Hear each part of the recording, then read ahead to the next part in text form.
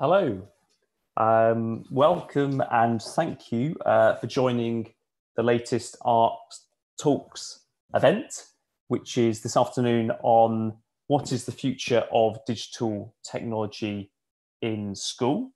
Uh, my name is Will Hazell and I'm the education correspondent for the i newspaper.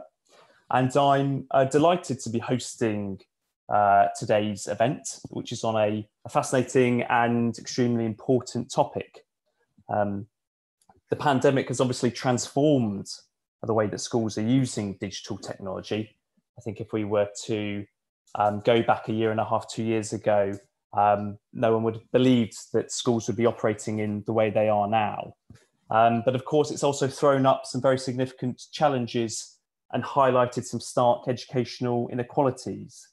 Um, so now, as we move out of hopefully uh, the crisis phase of this pandemic, um, thoughts are understandably turning um, to how schools could and should uh, use digital technology in the future.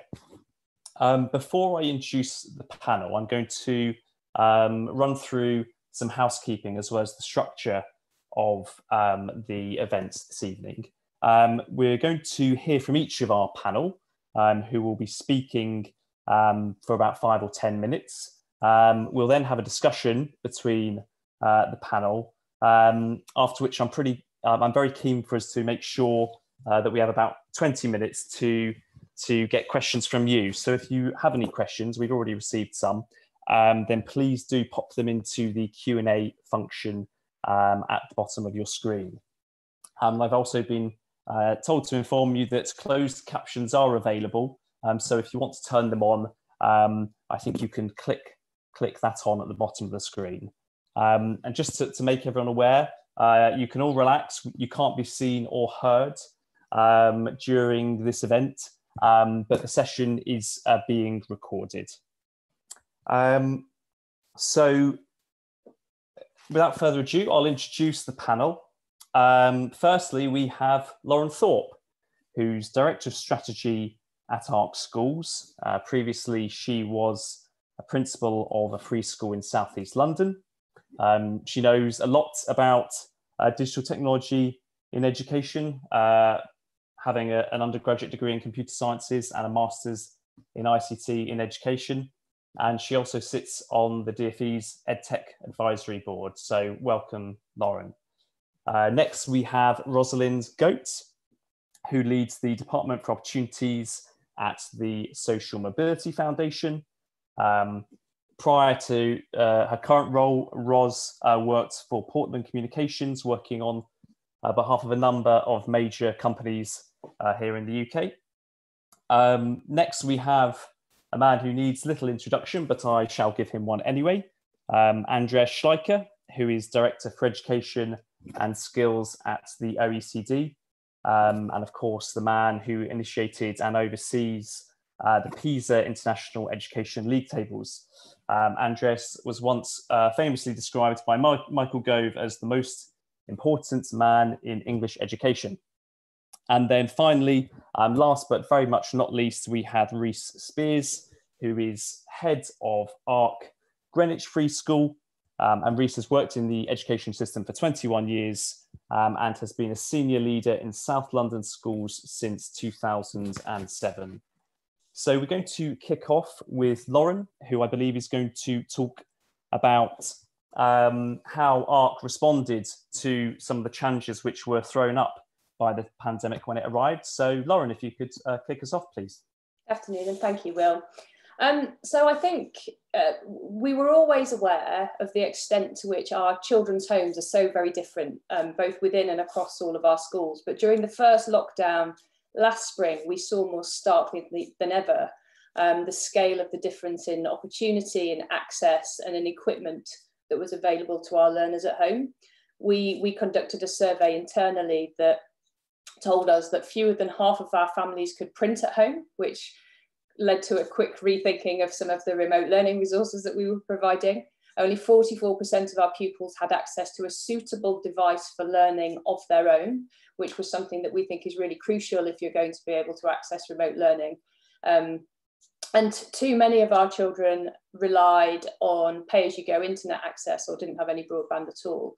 Um, so despite the, the strong alignment that we have across our schools with regards to teaching and learning approaches and with regards to curriculum, we were not able to provide a consistent experience to all of our pupils across the network during that first lockdown period. So we were really keen already that we wanted to embed more digital within our schools and in our approaches. But after seeing the scale of that digital inequity across our pupils, we took the decision to accelerate our plans to ensure that all of our pupils from key stage two upwards, so that's year three upwards, have a Chromebook so that they can close that provision gap at home um, and support their own learning and support schools in closing gaps in their learning as well. So in the first instance, these will be a sort of extension to their learning in school with most pupils keeping their devices at home. Um, there, there will be Chromebooks. And this means that teachers will be able to set home learning tasks that are aligned to the curriculum and embedded within the curriculum. They'll be able to use platforms, adaptive learning tools to both diagnose gaps in knowledge and be able to support pupils in closing those gaps and we're also really excited about the opportunity for schools to provide opportunities for learners to extend their learning beyond the classroom. And I've got a couple of examples of what that means. So um, we've already seen the, the, powerful impact that this can have. As a couple of quick examples. Our music team led some amazing cross school music events whilst our schools were closed and we've seen how we could we could have more powerful cross network opportunities for our students to work together and participate in different things uh, which is really exciting. We've had um, book reviews in Key Stage 5 with English students across schools talking together. Um, and all of that has been made possible by the fact that we can, we can sort of extend that learning day and extend some of those opportunities because we've got devices in the hands of pupils outside of those typical school hours. So we've got four components to our digital strategy that we're really excited about developing. One is about that creating more time for learning. So increasing the time and opportunity that students have to extend the time that they are learning. Um, that might involve pupils watching a video um, where a teacher models a new concept, or it might mean that they get to access some slides to pre-read in advance of a lesson so that in the classroom where the devices are not there most of the time, the teacher can focus on the sort of higher leverage skills and activities that they want to develop. So having a really rich discussion and spending more time doing that because the model has already been sort of absorbed by pupils. So that's the sort of thing we'd like to be able to do more of. We also want our pupils to be more confident online. We want to develop their agency. We want them to be able to navigate the online opportunities that are available and relevant to them both now and in the future and be able to discern which are and are not appropriate and suitable um, and of interest to them. So we really want to work on developing the metacognitive skills of our pupils to enable them to do that more effectively. And we want to really support and build on the work that we've done while schools were closed, where parents had a really um, much more visible uh, experience of their child's education. We want to maintain the best bits of that, where, where parents have got access and are able to understand what their children are learning by providing timely, accurate information about the progress that they're making, about the curriculum that they're following, and provide um, support to parents to empower them to be more involved and more sort of more confident actors in their child's learning. And we want to drive towards finally a, a, sort of more sustainable model of schooling, I think, where we, we can reduce the time that teachers spend on administrative tasks, um, where we think about uh, at one extreme and at the other extreme just just you know be better for the environment and save money and um, on printing and trees so um, you know, we want to look at it across across all areas really from a sustainability perspective. So, I mean, we're really excited. We're at the beginning of what is going to be a, I think, a, a both a long but also rapid actually transformation over the next few years where you know we're looking both within our network at the pockets of good practice and really excited to hear what what Reese is doing and when he talks about um, what Greenwich are doing, we've got such great examples across our network of, of some really innovative work in across loads of different areas. Um, we're looking to the rest of the world, parts of which are still in remote learning contexts and trying to understand what, what's happening there that we can learn from. And, and I think that the last 12 months have just led to such a massive change in the use of technology amongst learners. There's been a massive and rapid investment in ed tech as a sector, which I think is going to influence and shape the, the availability of technology and tools as we move forward. And I think my, my overwhelming response to all of that is we need to proceed with caution and with but with enthusiasm so that we're able to make the most of the opportunities that, that it affords, but be flexible enough and adaptable enough to make sure we, we evaluate as we go and, and continue to make the right choices um, when we look at digital tools. Great, thank you very much, Lauren. Um, and next we have Roz, who I think is going to be talking a bit about some of the Social Mobility Foundation's findings around the digital divide. I think we've got a, a video to start us off. But uh, Ros, over to you. Thanks, and th- yeah, thank you very much for having me on the panel today. Um, for those of you who don't kind of know the SMF uh, that well, just a kind of quick introduction. So we're a, a national charity. Um, we work across the whole of the UK and have been going for about 15 years. Um, we're focused on making practical improvements in social mobility. Um, and we do that in three ways. So we run a program for a cohort of 2,000 young people a year, all of whom are on free school meals, supporting those young people firstly into the top universities and then into the top professions. Um, we run an annual social mobility employer index, which looks at the role employers can play in improving social mobility in the UK. Um, and then finally, the, the Department for Opportunities, which is our newest, the newest string to our bow, which is our kind of advocacy and campaigning arm which is really looking um, at systemic change and how to support kind of all young people um, outside of our cohort. Um, and yeah, just just to kind of set a bit of context um, to what we've seen through the pandemic, I was just going to play a quick video um, from our End Laptop Poverty campaign. Imagine a world in which all school classrooms are locked and only some of the kids are allowed a key to get in. Any child without a key, no matter how bright or eager to learn, isn't allowed an education or the same opportunities. You can stop imagining because that is how laptop poverty is affecting the lives of 1.78 million children in this country. Due to the pandemic, remote learning is the new normal. Schools are closed and the only way children can take part in the education system is by having a laptop or a tablet. That is their key. Any child without a device is living in laptop poverty. They can't take part in live lessons, complete assignments, or even do their homework. Ignoring laptop poverty is ignoring a child who wants to learn but can't. It is giving up on their potential. Kids with laptops are 234% more likely to get competitive GCSE results than those without. Kids with laptops will earn an estimated £100,000 more in their lifetimes than those without. The government isn't doing enough. They are acting slowly and falling short. But with your help, we can end laptop poverty in a matter of months. There are over 40 million unused laptops and tablets in this country, those unwanted devices are gathering dust when they could literally change lives. We're asking you to wipe it, donate it, and talk about it. Whether you're a business or an individual, all you need to do is wipe your unwanted machines, donate them to our charity partners across the country, and share our message so others do the same. More information is available at endlaptoppoverty.org. With your help, we can end laptop poverty and give children the key to a proper education and future they deserve. Thank you. Um, yeah, so I think, I mean, I think that kind of that sets out some of the kind of stark figures uh, that young people were kind of working through during um, during the pandemic, and I kind of really welcome um, what Ark has been doing to support its young people. But I think it's probably just worth reiterating that there are still plenty of young people up and down the country who don't have um, access to their own device, despite the kind of government's attempts at a rollout. Uh, so, quick, quick campaign plug, please. Uh, if you are watching and you do have an old device, do go on the End Laptop Poverty website and donate it. Um, we still have students, and I know there's lots of other young people across the country who are without a device. Um, I think just kind of quickly, the kind of key things for us are firstly just reiterating the the link between the digital divide and um, closing the attainment gap. Uh, the kind of stat that was pulled out in that video um, was was really compelling in terms of uh, attainment and access to a device. So young people are twice as likely to get um, five A stars to C's in their GCSEs if they have their own device.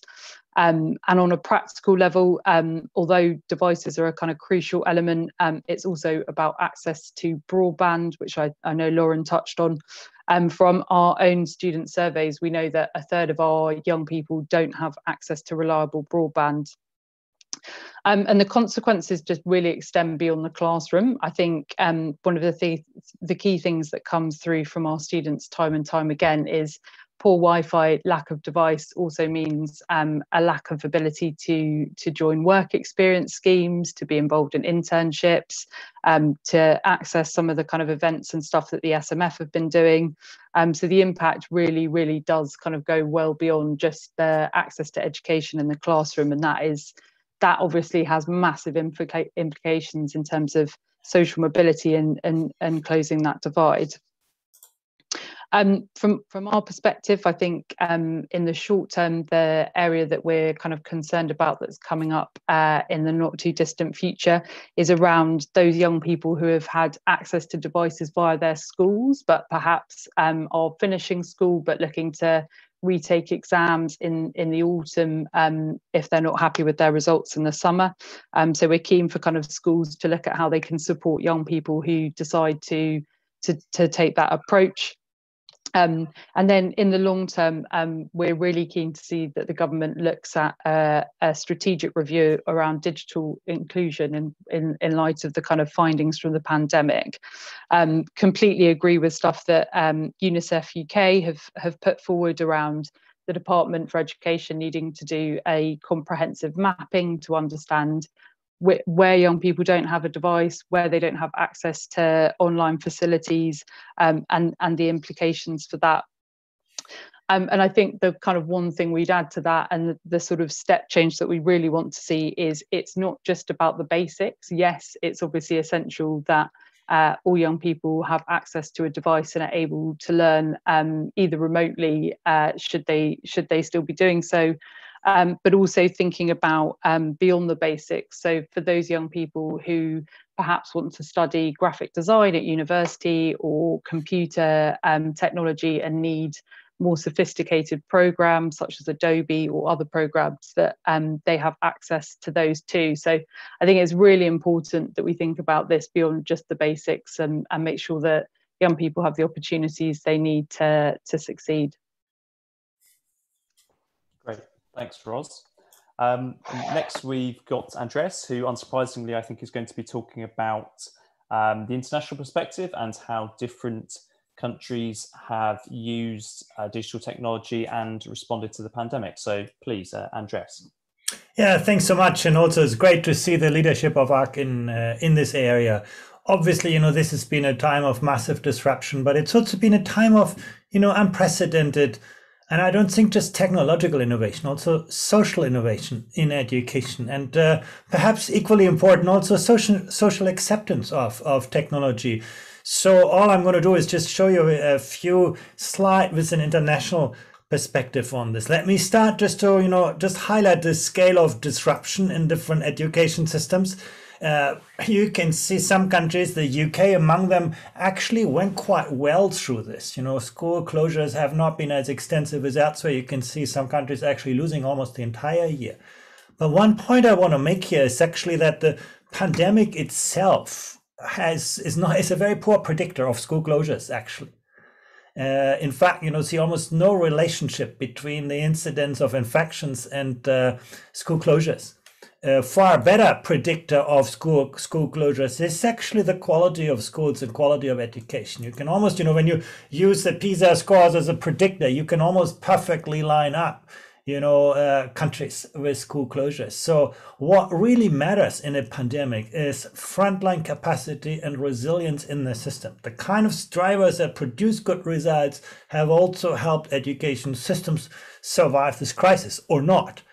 But what you can also see, like within a country, that across countries, this pandemic has just massively amplified, you know, the gap between countries. Education systems are very resilient, of high quality, you know, coming good through this, others falling further behind. I think that's just as a context.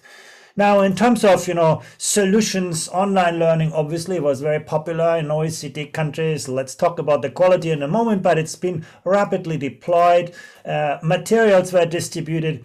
Surprisingly, television in some countries played a very prominent role. often combined with mobile phones where, where kids didn't have devices you know television was used to broadcast lessons and mobile phones were used to do to deal with the interactive parts uh, i actually think something we can learn from this pandemic that online learning is maybe the gold standard but it's certainly not the only tool that is available so lots of really interesting ideas i think um, we already heard, you know, how the pandemic has amplified social disparities. I want to show you that with some real-time data. Here you can see before the pandemic hit, you can see actually access to uh, mathematics kind of online learning program was quite equally distributed across social classes. We didn't see much of disparities between wealthy and poor students. Now, when the pandemic hit, you know, everything declined. But then students from privileged backgrounds recovered very quickly,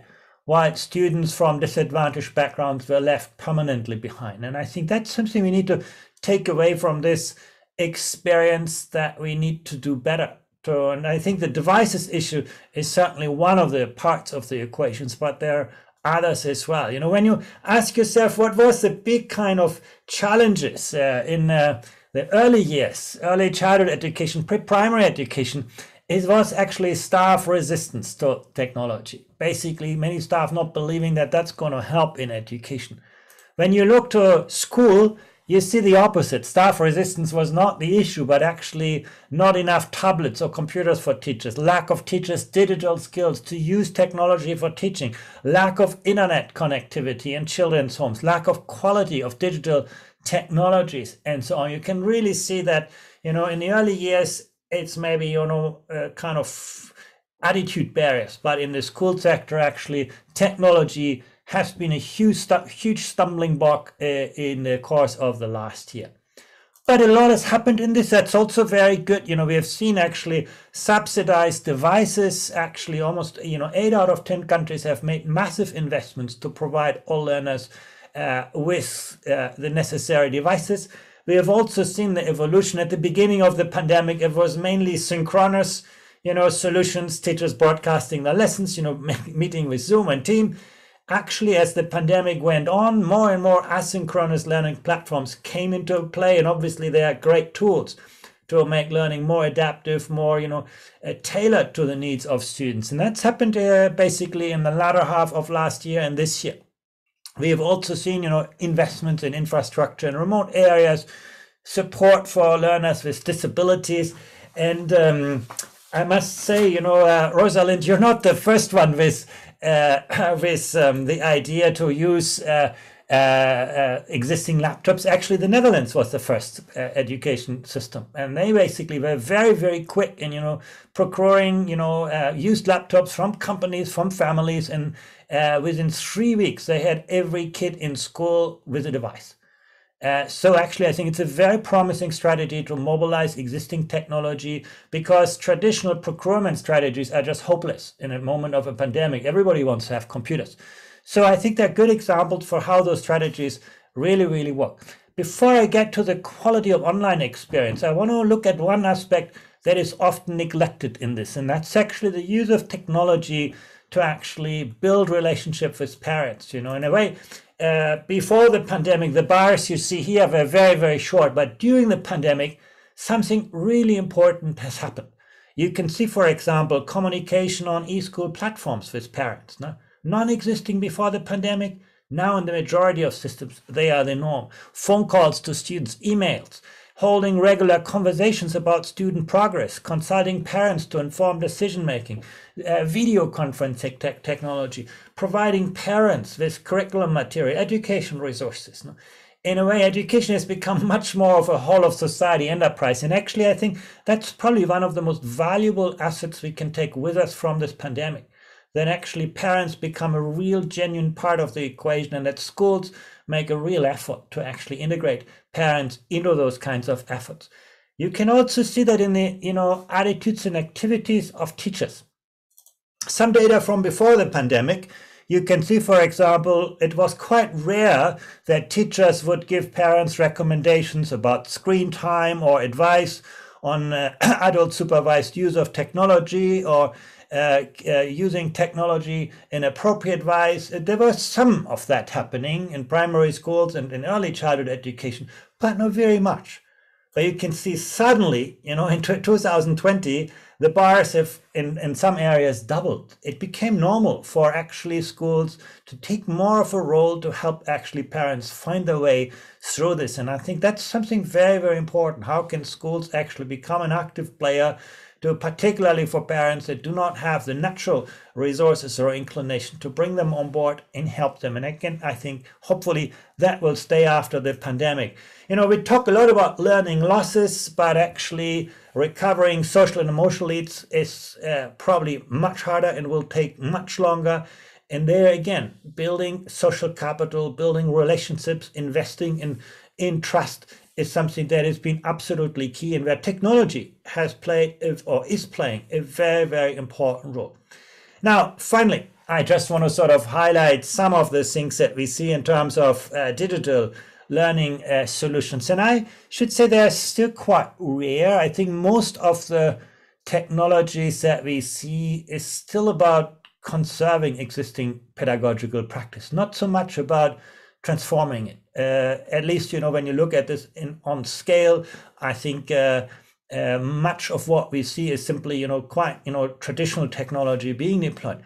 But there are interesting examples. When you look to countries like Korea, China, Singapore, Estonia, you do find really interesting AI-based learning systems now you know when you study mathematics on a computer the computer is studying how you study and then makes your learning much more adaptive much more interactive much more granular. And again this holds huge potential also on the equity front. Uh, students with disabilities can now benefit much better from instruction than the kind of one size fits all lessons. So i think these kinds of technologies are becoming real and i think in the pandemic the critical mass has been reached. They're not yet large at large scale, but I think we can see them emerging. We also see interesting new examples of assessment and exams. You know, again, I think one of the most tragic mistakes education has ever made is to divorce learning from assessment. You know, we ask students to pile up a lot of, you know, knowledge, and then one day we ask them, uh, you know, tell me everything you know in a very constrained and artificial environment. And again, you know, we see technology now bringing assessment and learning together, giving students real-time feedback on, you know, how to improve, giving teachers a much more interactive feedback on how different students are progressing differently. Those kinds of, you know, assessment systems, also, you know, more complex assessment systems in even vocational settings are starting to get hold and i hope there's a lot of potential. I think the fact that our traditional exams are collapsing in a pandemic should you know make us ask ourselves you know are our systems resilient enough for an uncertain future? And we need more of those solutions. I already mentioned you know learning analytics uh, really great potential in this and uh, the only systems where i've seen that you know being deployed at large scale is china but still it's very worth looking at where teachers really get, you know, very granular, real-time information of how different students learn differently, and they have completely different possibilities then to to act, to react, to redesign learning on the goal, while not after the lesson, and also to accumulate that knowledge afterwards. Again, I think it's a very, very important tool. Now, that sounds all, you know, very optimistic and enthusiastic, but I also want to show you a little sort of picture from the reality actually, you know, when you look at this, despite all the good examples, when you look at this at scale, we still see that technology intensity in classrooms relates negatively to learning outcomes. You know?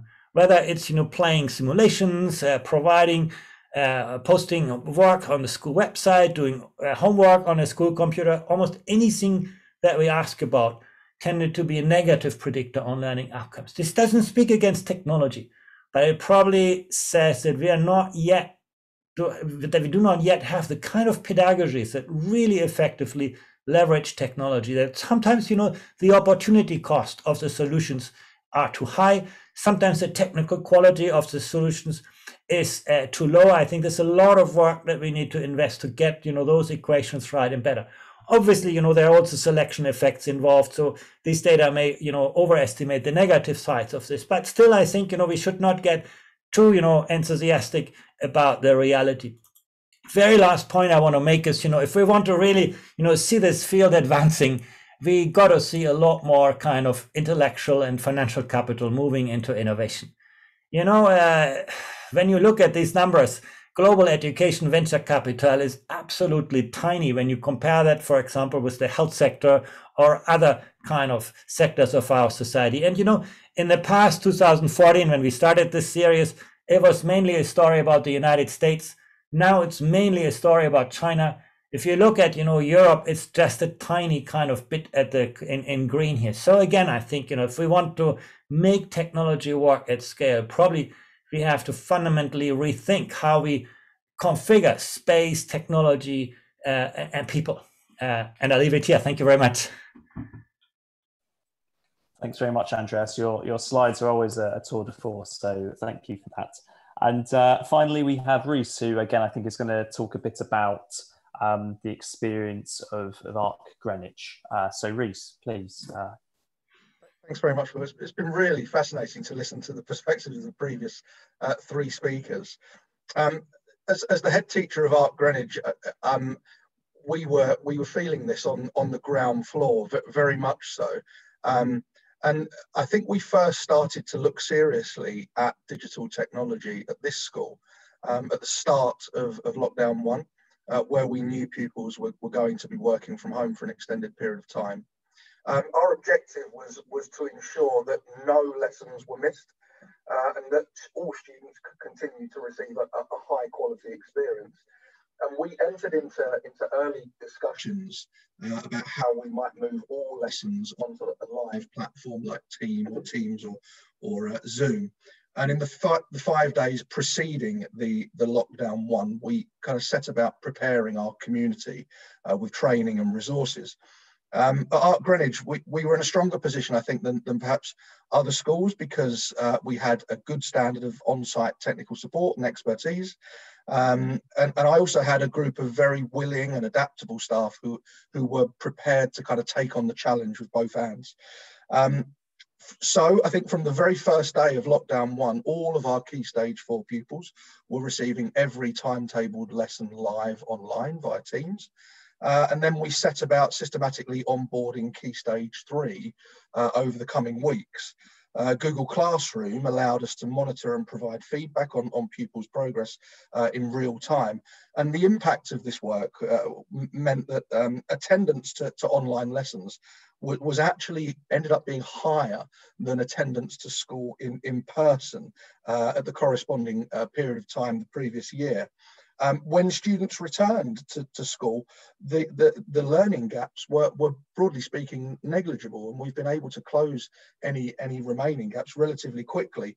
Um, and, and the year 11s um, uh, happily had, had returned having covered the full specification and, and they didn't miss a day of learning. So we were really proud of everything that we were able to achieve during the, the lockdown period.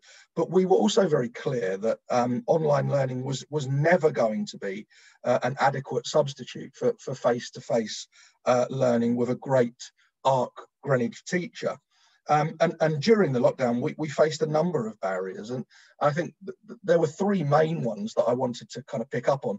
The first was around kind of technical issues, um, simple things like students accessing passwords, usernames, parents having general kind of technophobia. Uh, and, and of course, something that was mentioned earlier was unreliable internet access. And we had to find practical ways of resolving those issues as quickly as possible. Um, we, we actually facilitated a practice digital learning day in the build up to the second lockdown, and that helped to prepare the community. Um, we prepared a number of quick fix videos that helped too. Um, and we had a kind of technical team on, on hand to help kind of man the phones and support during that onboarding period. Um, and, and where all of that failed, students were invited back into community classrooms where we would give them the one-to-one support before then uh, them going away again. Um, the second major issue that, that we faced, particularly as the as we went into the second lockdown period, was concerns around excess screen time, screen fatigue, headaches, and uh, mental health. And um, we ended up moving to um, more of a hybrid model of, of uh, live lessons and paper-based tasks. We introduced um, digital detox afternoons and digital detox days uh, and initiatives across the school to get everybody active again. Uh, but I never really felt like we completely got on top of that particular issue. Uh, and I think finally, there was also the matter of kind of will and, and resilience, uh, motivation, and a sense of independence from some of our pupils, typically the pupils that may have been struggling, even if they were in school to, to, to demonstrate that level of independence. Um, now, to solve that, we were largely reliant on the school's culture and, and, and the systems that we that we had embedded for follow-up. So um, as Andreas mentioned, we, we, we actually had a system in place where we were phoning, at least for the first period of lockdown, all of our families on a daily basis. And that really strengthened the relationships uh, and, it, and it allowed us to try to get that message across. Um, we also prepared a, a more firmly worded text message that went to parents if their child wasn't in lessons uh, when they were supposed to be. But there's, for me, there's a big difference between what happens during lockdown to make sure that children can access learning and what now happens moving forward now that children are back in school. And I think we need to make, make that distinct, distinction. I think we now find ourselves at a critical moment in our kind of digital journey as a school where, you know, and all credit to, to Ark as a network, we're in a position to be able to issue every single pupil with, with a device uh, to use in kind of normal, non-lockdown times. Um, and it's really clear to me that technology has, a, has an important part to play uh, to prepare pupils for this of new hybrid world. Um, but we, but we are potentially at risk of, of embracing technologies for, for technology's sake. Um, and uh, my, my concern uh, sometimes is that, you know, is this potentially the next fad that we might need to, that we might need to avoid? Um, and we've been approaching the question of kind of ongoing digital learning with, with a real element of caution, as, as Lauren mentioned earlier. We're asking ourselves some really kind of fundamental questions. What evidence is there that, that digital technology enhances pupil outcomes in normal times? Um, I remember a, a, kind of similar piece of work around 10 years ago where some schools decided to issue every pupil with an iPad. Um, and, uh, you know, we would ask sometimes, where are these iPads now and, and, and how much did they cost and, and what is the legacy of that piece of work? Uh, what platforms are we going to use? Are we going to make available to pupils? And are these the right platforms? We need to think really carefully about that piece of work. Um, how can digital learning platforms be used in a targeted way to systematically enhance pupil progress based on the individual learning needs uh, of, of specific pupils? Um, exams are still written um, they're not done on, on a computer. Um, will an over reliance on online learning during normal times reduce dexterity, um, impact handwriting um, and performance in, in exams? Um, what impact will enhancing screen time have on pupils' social skills and their mental and physical health during normal times? Um, should we actually be considering a nationwide detox um, around digital technology. We know that children already spend hours on social media and gaming, um, and does learning really need to be digital too during normal times? Uh, I certainly don't have all the answers to, the, to these questions, but, but we're, we are thinking very hard uh, about this at the moment. Thank you very much, uh, Reese. And I think we had a absolutely fantastic and wide-ranging overview from the panelists there. Um, I think actually I'm going to crack on with bringing in some um, some questions um, from uh, our audience because um, we've got about 20 minutes left. But before before I do that, I might sort of um, throw in one of my own questions, uh, the, the chair's prerogative, um, and that is.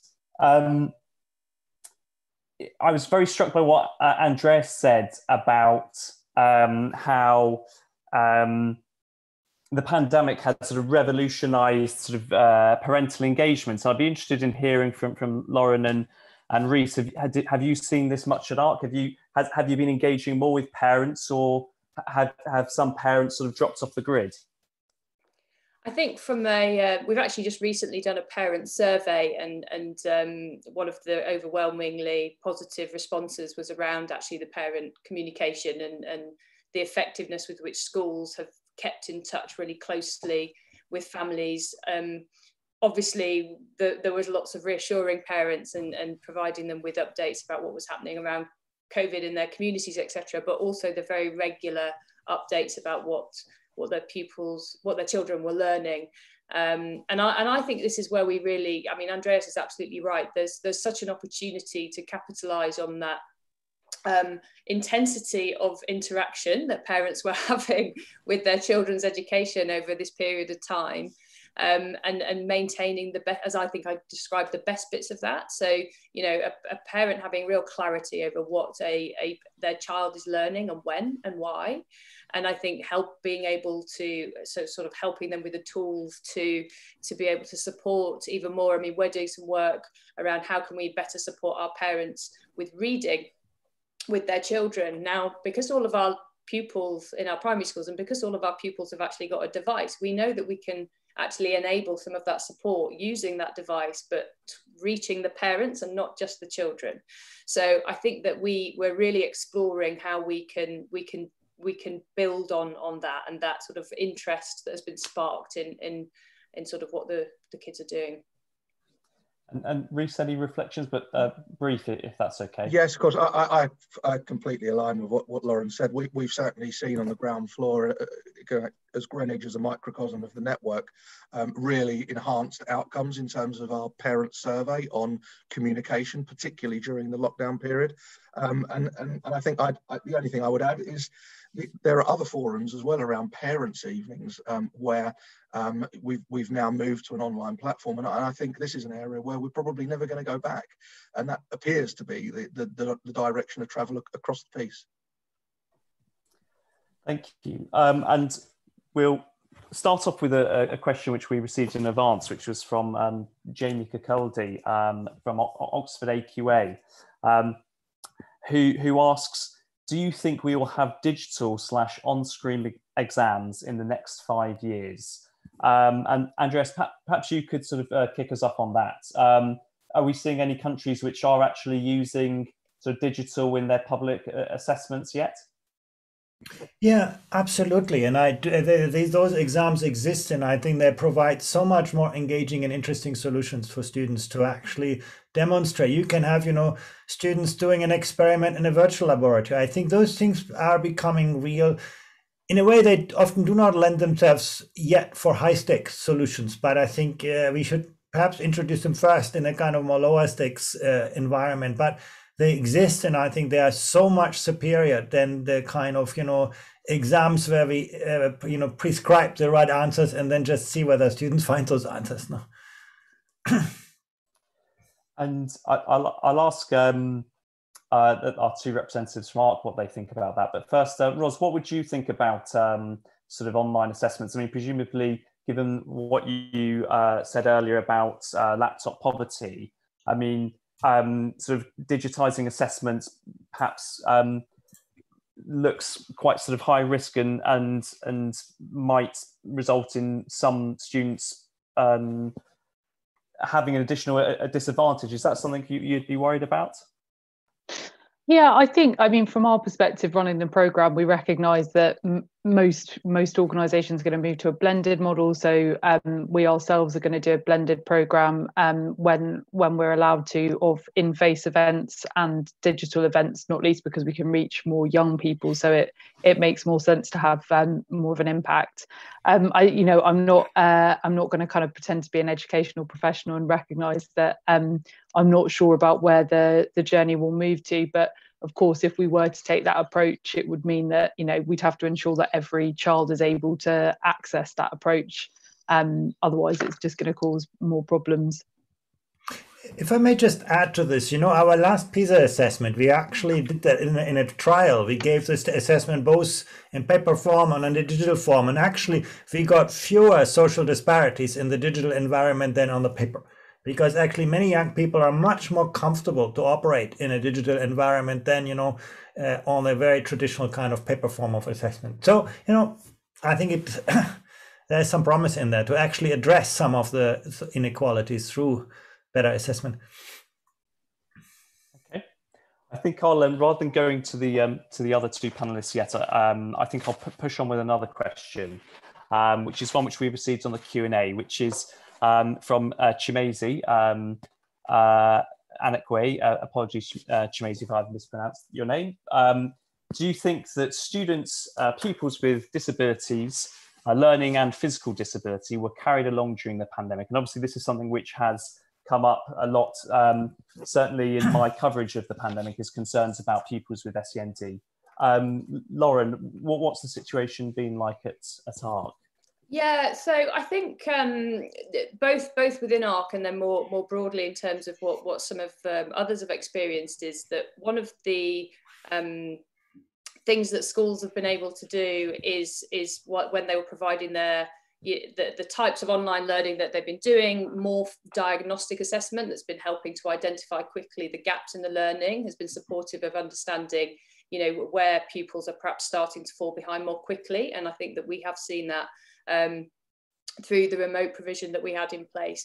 But actually, there's lots of, of evidence to suggest um, both, both within our network and published, that, that the ability to have sort of pre-recorded content has been really supportive for pupils um, with, with learning difficulties or special educational needs, where they've been able to slow down the learning a little bit to their own pace. So that being able to pause and rewind something, if you haven't grasped it first time, um, has been shown to, to, to sort of support pupils to learn a little bit more at their own pace. So I think when designed in the right way, um, it's like anything else when we're, I've seen another one of the questions in the chat is around what pedagogical approaches are right. It's, you know, you need to choose the right pedagogical approach to address the, the sort of learning gap that you're trying to close and think about the best suited um, tool and activity to, to do that, that will, that will perform that, that role for you. So I, I think, I mean, it's inevitably will have been mixed, but I think that there are significant opportunities to better support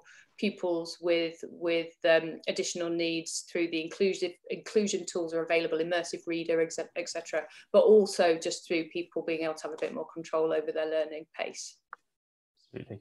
And, and Andreas, what's the um, the international picture on on pupils with with with learning disabilities and other disabilities? Have they does the data suggest that they have um, suffered more than other students uh, during this pandemic? Yeah, you know, I, showed you one chart, chart on this, and generally you can say that this pandemic has massively amplified almost any form of social inequality, including uh, special education needs. But looking forward, and I think uh, sort of following up on what Ray said on this, I do believe that technology has its greatest potential actually to give you know students with special needs better learning opportunities. You know they are the ones who suffer actually a lot from the one size fits all kind of classroom environment, and actually. Uh, technology can engage with many forms of physical disabilities, but also learning disabilities. I think the adaptive learning approaches that come out of technology, I think, hold huge potential. But again, you know, in this pandemic, we haven't seen very much of this because most of the technology was essentially about broadcasting.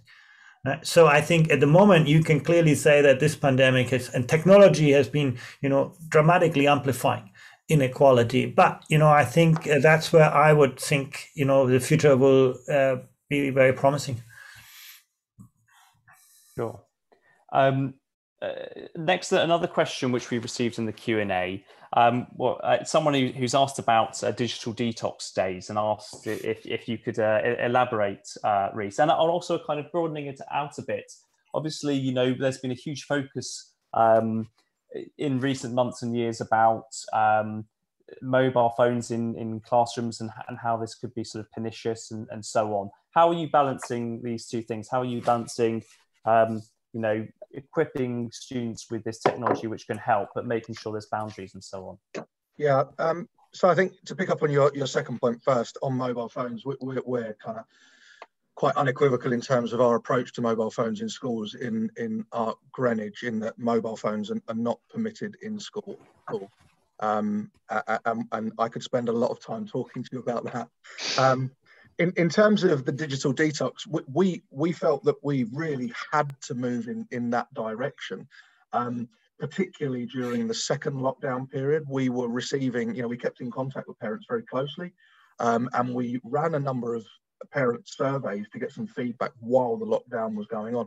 And what was coming through loud and clear was that um, parents were concerned that their children were spending too much time in front of the screen. It was affecting them.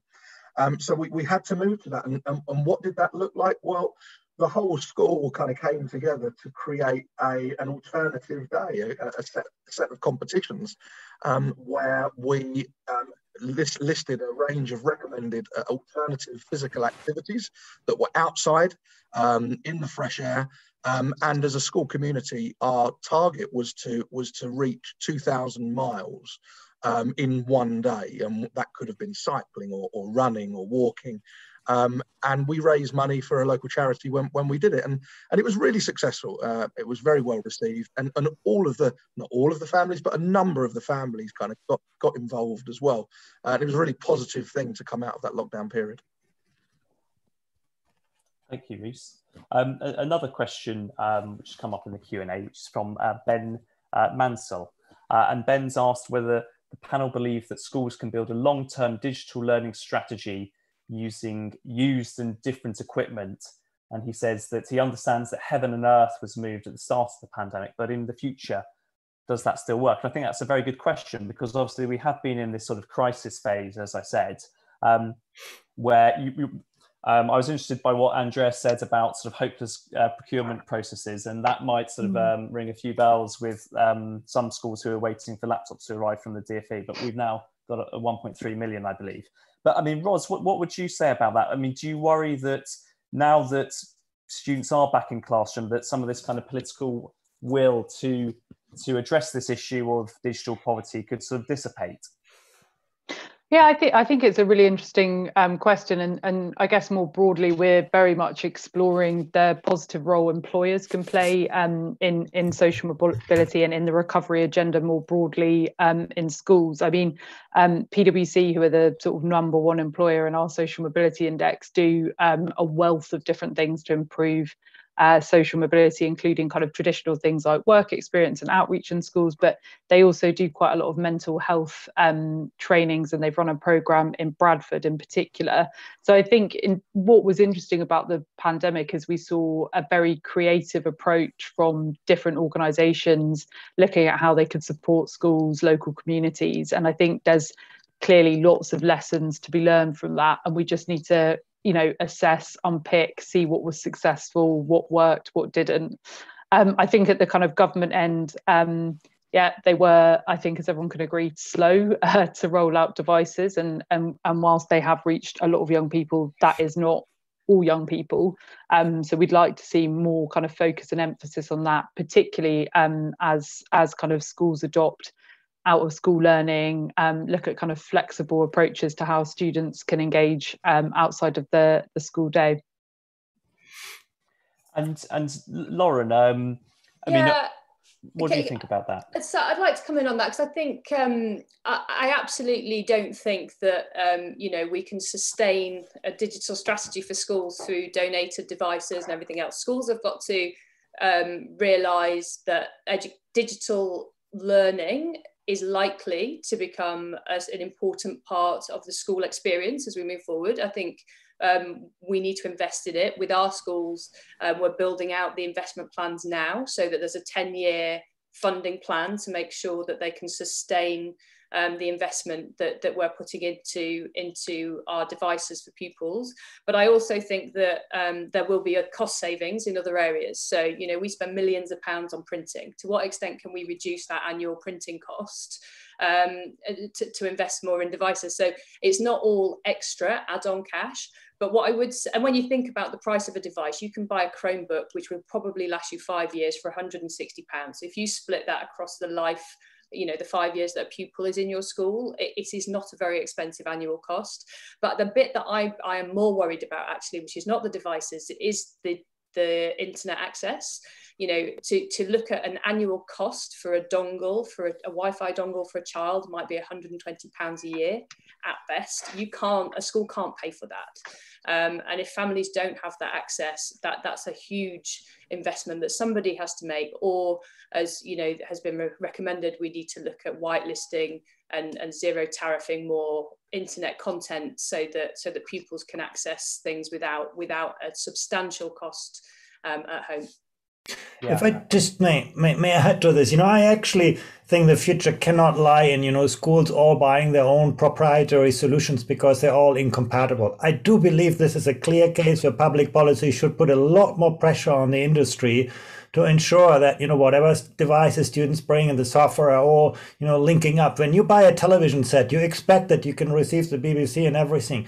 In uh, educational software, that is not the case. Actually, this is a kind of we will never get a digital ecosystem that works for all if we have a patchwork of incompatible solutions. So I do think there's a clear case for a lot more pressure. But I also wanted to come back to one point that Rhys made. You know, if you look at our PISA data in the UK before the pandemic, 15 year olds spent almost 40 hours online in British young people you know and actually this time is typically negative related to student well-being and to the social emotional kind of outcomes. I, I think something on this uh, needs to be done. I think it's a big role for schools to help young people find you know an appropriate balance in their families too.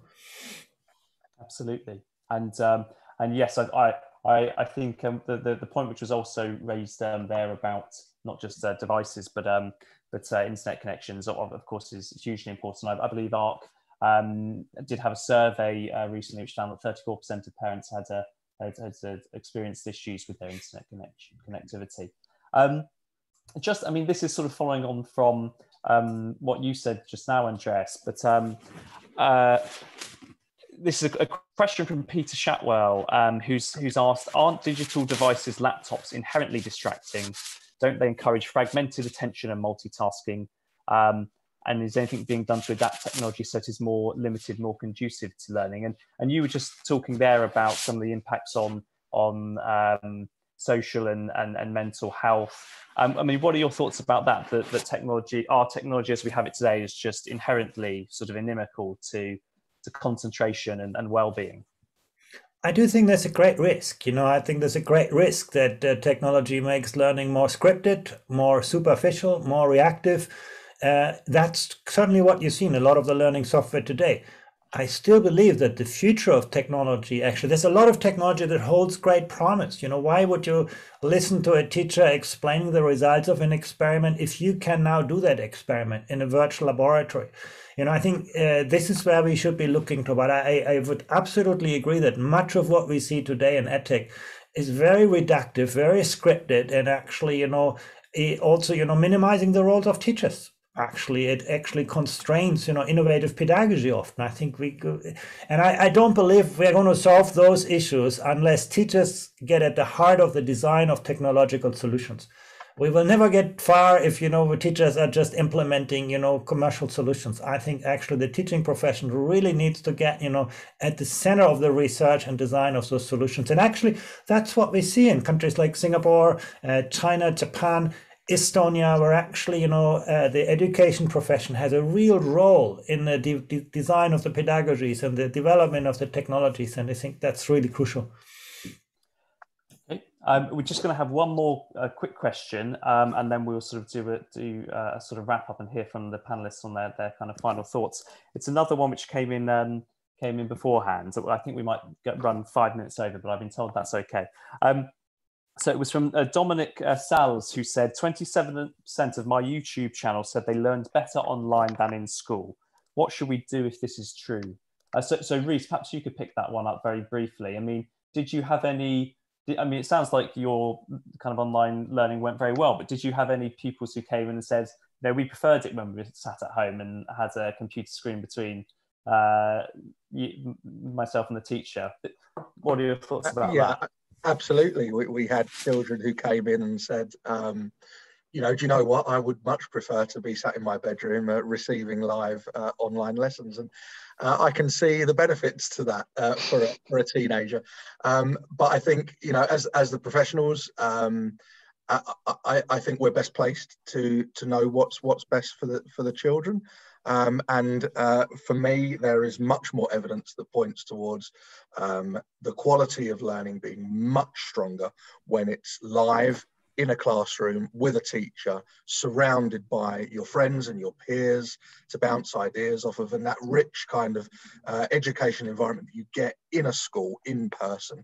Um, clearly, there is a place for, for online learning. Ab- absolutely, there is, and you know we're we're even seeing um, fully online schools popping up as alternative provision for some for, for some children.